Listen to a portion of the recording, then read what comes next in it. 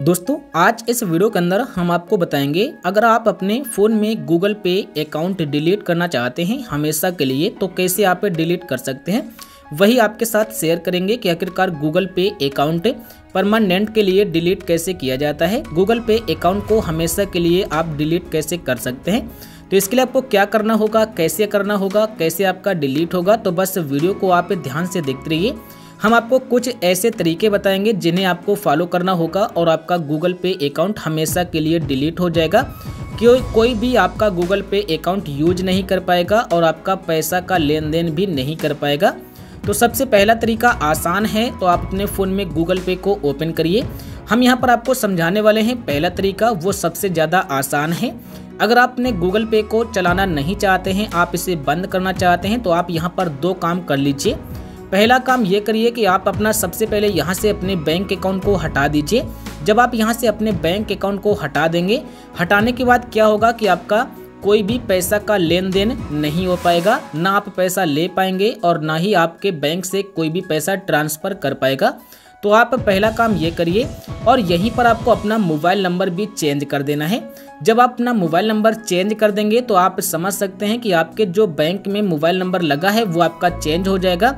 यहाँ पर कोई ऐसा मोबाइल नंबर लगा दीजिए, जो आपके किसी भी बैंक अकाउंट में ना लगा हो, किसी भी बैंक से ना जुड़ा हो। तो आपका यहाँ पर कभी भी बैंक ऐड नहीं होगा।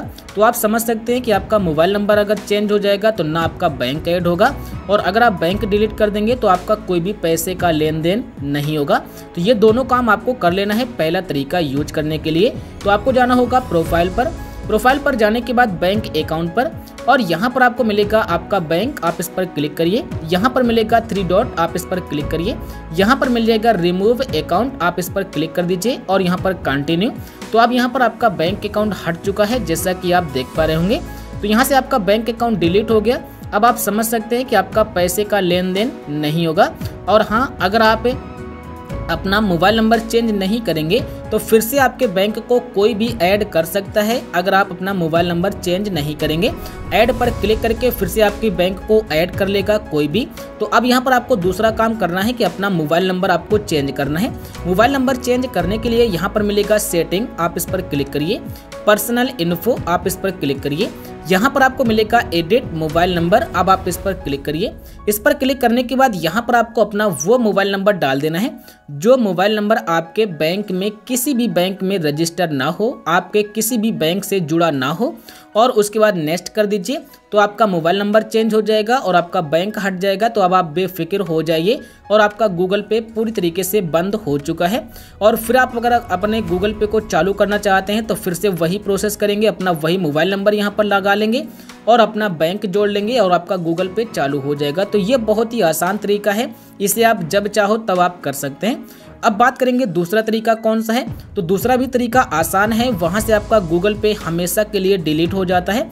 इसके लिए आपको यहाँ से बैक आना है। बैक आने के बाद आपको इस पेज पर आ जाना है। यहाँ पर आपको एक पेज दिखाई देगा, ये वाला तो आपको इस पेज पर आना होगा। यहाँ पर मिलेगा मैनेज गूगल अकाउंट आप आप इस वाले ऑप्शन पर क्लिक करेंगे। जैसे आप इस पर क्लिक करेंगे तो आपके सामने गूगल अकाउंट का मैनेज करने का पेज ओपन हो जाएगा इस तरीके से।